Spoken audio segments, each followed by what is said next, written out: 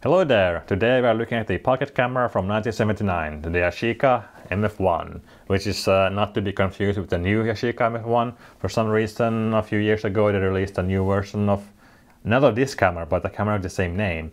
And it's very basic camera, I haven't really heard anything good about it, so yeah, not to be confused with this one. This is a much older camera and supposedly also better. So basically this is a auto exposure camera, but with manual focus. So and it has no rangefinder. So yeah, but anyway, let's have a close look at the camera and what you can do with it. The first thing you should do before you start taking pictures is to insert the batteries. It takes two AA batteries and it won't take any pictures without them because the light meter here on front needs them and also of course then the flash, if you want to use the flash, needs batteries. So first of all, to give an overview of the camera, it has a 38mm 2.8 lens, which sounds quite good on paper.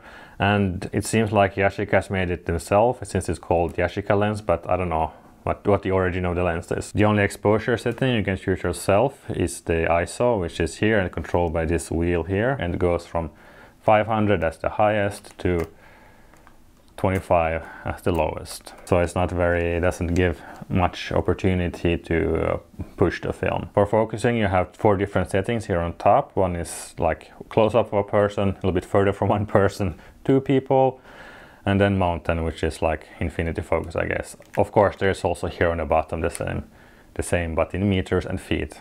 So I prefer to use this since it can be a bit abstract but how close that actually is. And after all, it has a 2.8 lens, so if you're close to a person, I mean, the focus needs to be a little bit exact, otherwise you have everything blurry. On the side here, you also have a self timer, which could come in handy if you want to take a picture of yourself. On the front here, you have a pop-up flash, which can be useful if you're in a dark area. Since it's an uh, auto exposure camera in a way, sometimes it actually refuses to take picture if the flash is not activated, if it thinks it's dark enough. So yeah, it has quite a standard lever for film advance and the same for, for reversing the, the film into the canister, so nothing nothing strange in that case. Quite a standard 35mm pocket camera, nothing nothing strange about it. And here on the inside you have the, well, standard innards of the 35mm camera really. Yeah, that was all about the Yashica MF1. Maybe I forgot something, but yeah, it's not a big thing in that case. Let's hope.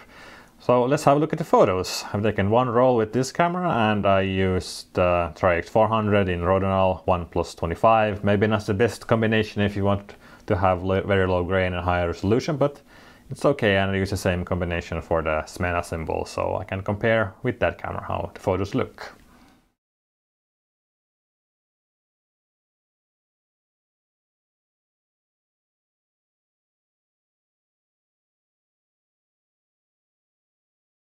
Right, so what is my verdict of this camera? Would I recommend it? Well, yeah, it takes okay photos, it does the job, it takes photos if you focus it correctly. I didn't have any problems focusing the photos, no, none were out of focus, so yeah, it's not that big of a problem. If you happen to see this camera somewhere, I don't know, it's if you can get it for cheap, well, get it and try a roll. I don't know, maybe you will like it more than I do. And of course, if you use different film like color film or more high resolution, the photos will also look different. Yeah, I think that's it for this video. If you have any questions about this camera or any other camera, just write a comment and remember to like the video. Yay! Always makes me happy when I see the likes.